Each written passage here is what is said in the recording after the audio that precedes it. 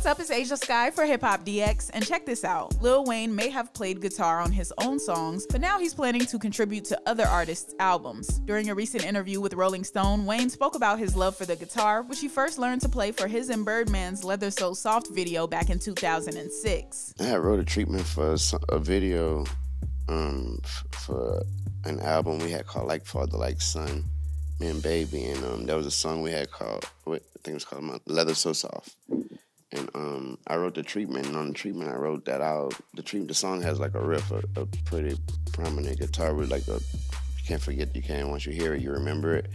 And I, I wrote on the treatment. I was like, uh, I'll be playing the guitar next to some old car or some somebody. I was like, oh, you you gonna look like you playing it, or you gonna?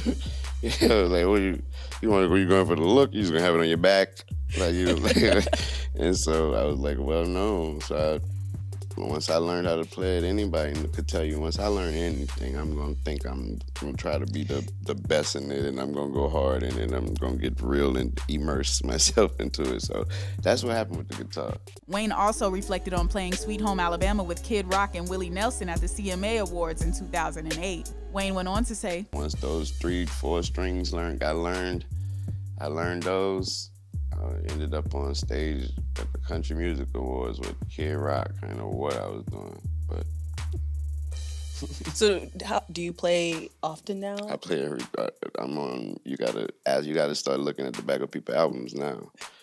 No, for real. Yeah. Yeah, yeah. And yeah. you'll see in the production, you'll see a little Dee Carter yeah. And you'll be like, who's D? I ain't hear Wayne on there. Yes, you did. Yeah, you did. Mm-hmm. Right there. So, what do you think about Lil Wayne venturing into playing guitar on other people's albums? And do you think he'll make playing the guitar a more prominent part of his shows next time he goes on tour? Let us know your thoughts on it in the comments section. Also, subscribe to the channel and hit the notification bell and stay locked in to Hip Hop DX.